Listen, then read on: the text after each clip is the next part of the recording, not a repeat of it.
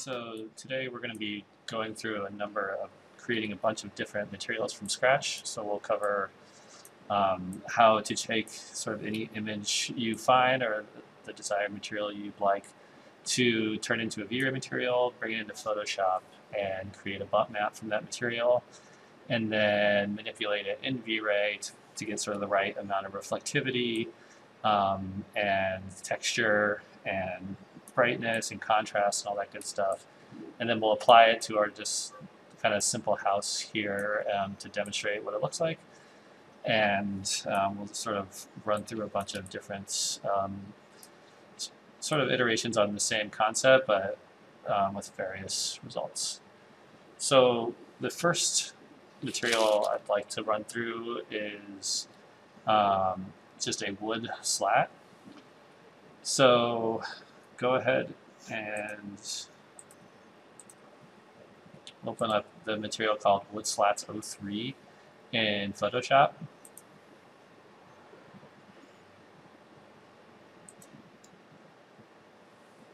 So this is just a pretty simple wood slat material. Um, honestly, I think I just like found it on Pinterest or something. Um, but I, I, I, use this for a lot of um, projects in the office. And what's great about this is it is a seamless texture.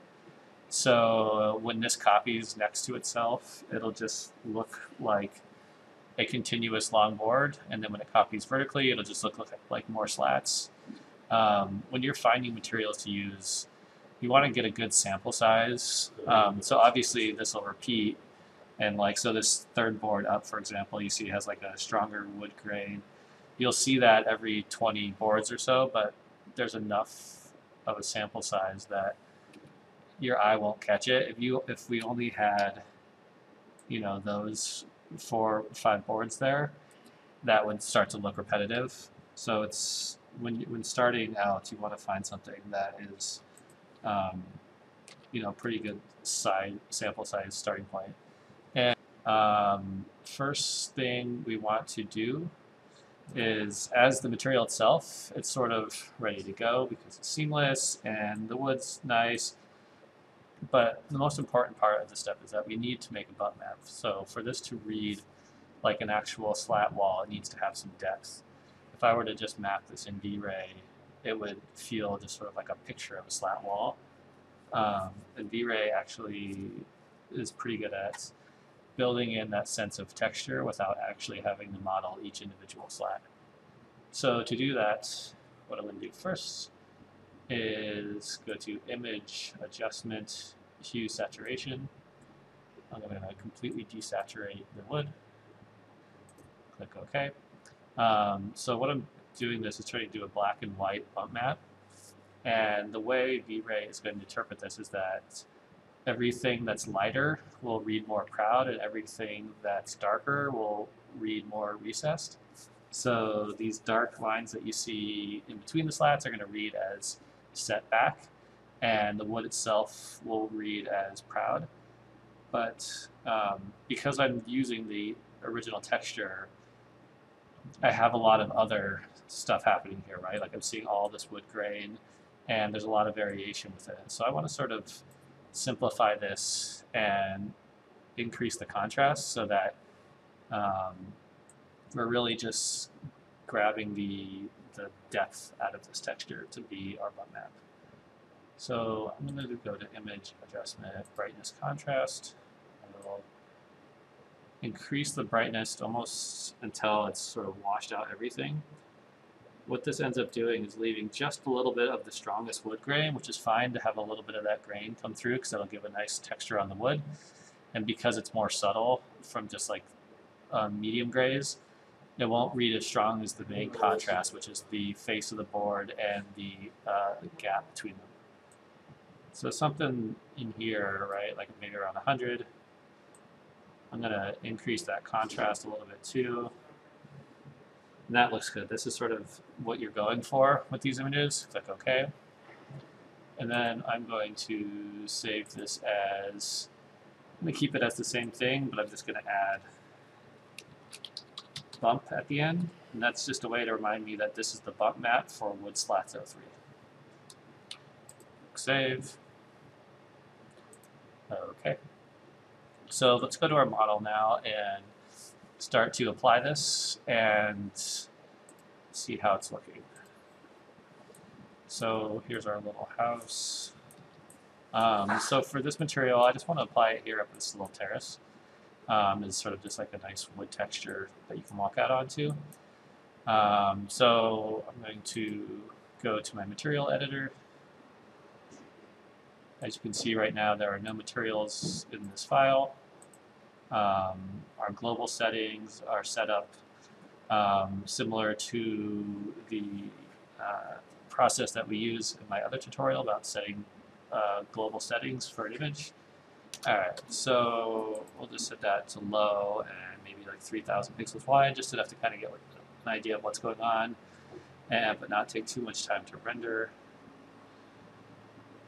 Um, one thing we'll always do with these settings is double check our lighting. So like we've discussed before, if I look at this in plan, I'm going to want my sun kind of coming from the southwest uh, west corner here, so I'll check my sun, make sure it's on manual control, just dial this over to about the southwest, just kind of estimate that height there, that should be good.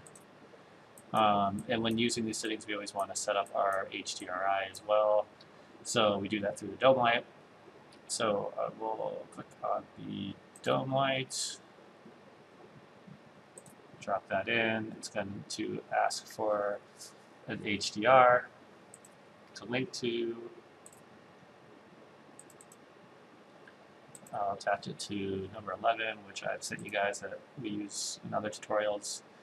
Also going to make a layer for that so that it doesn't get next turned off or something.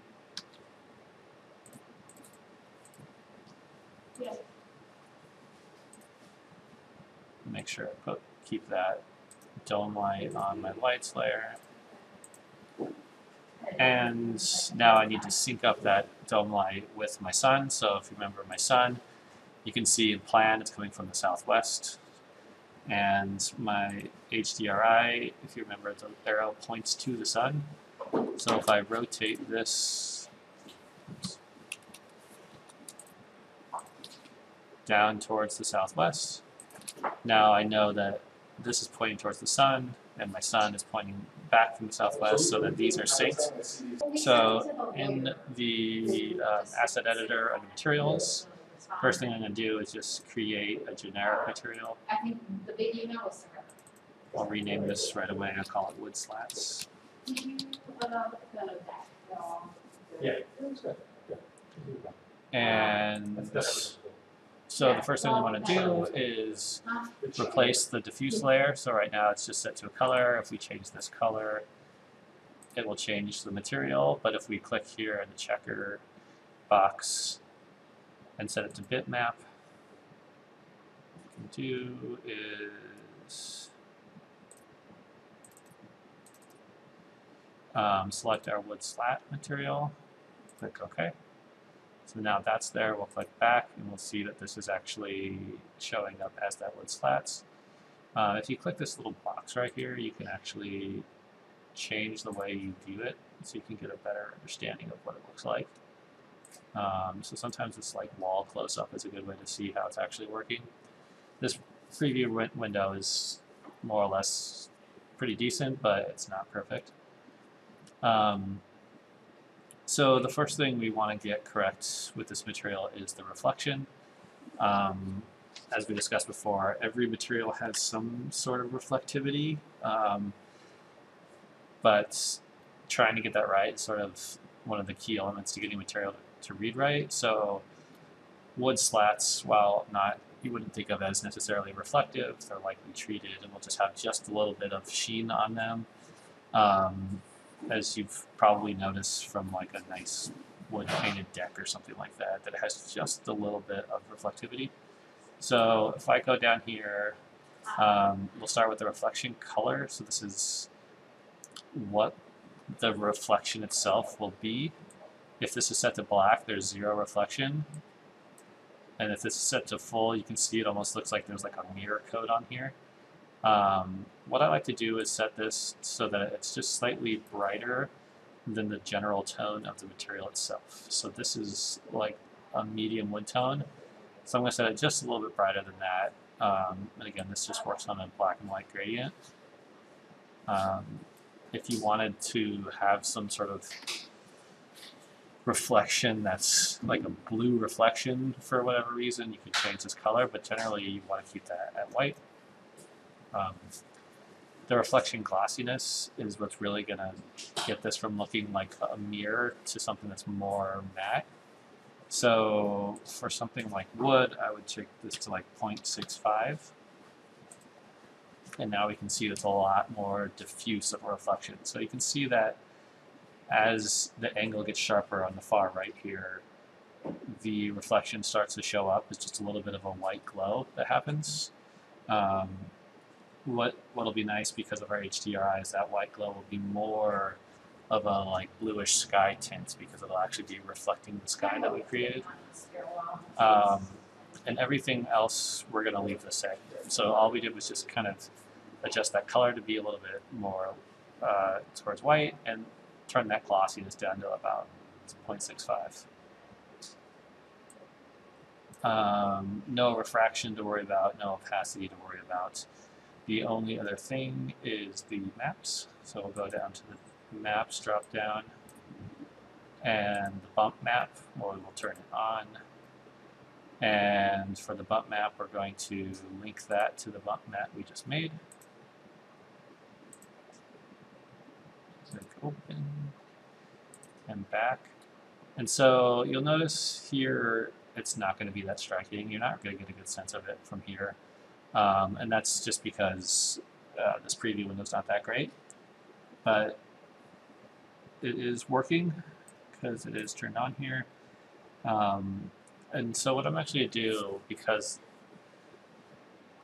well, we'll give it a try just see here. Sometimes I like to turn this up because we have a pretty big reveal there. We'll see if we can, how it looks at just keeping the uh, intensity at one.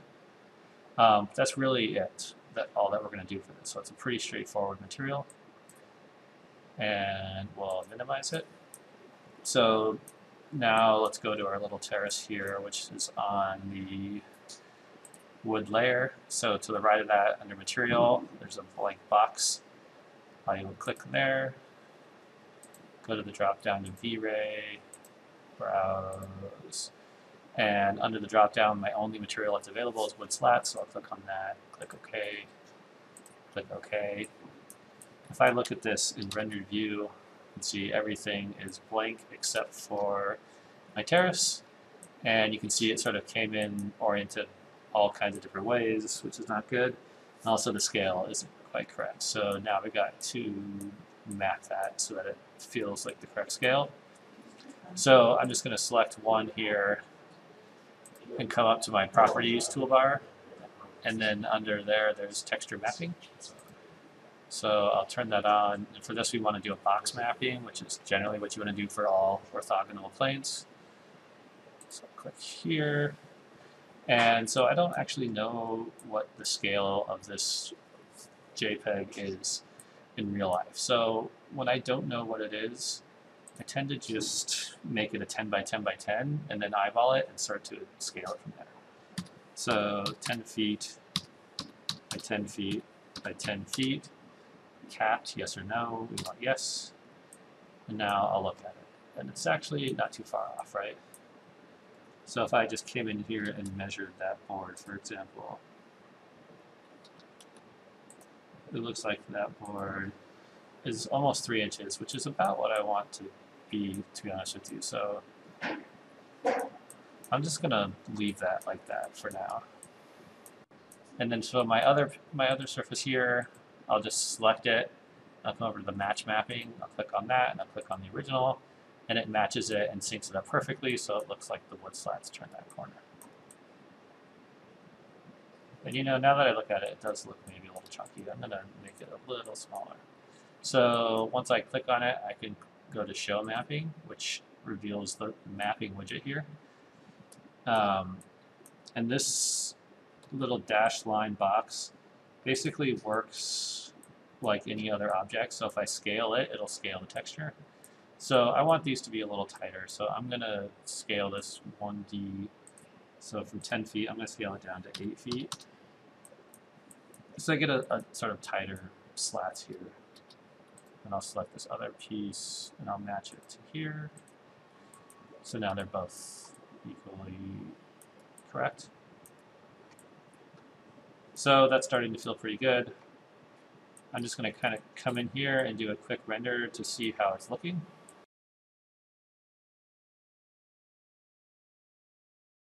And this is coming in.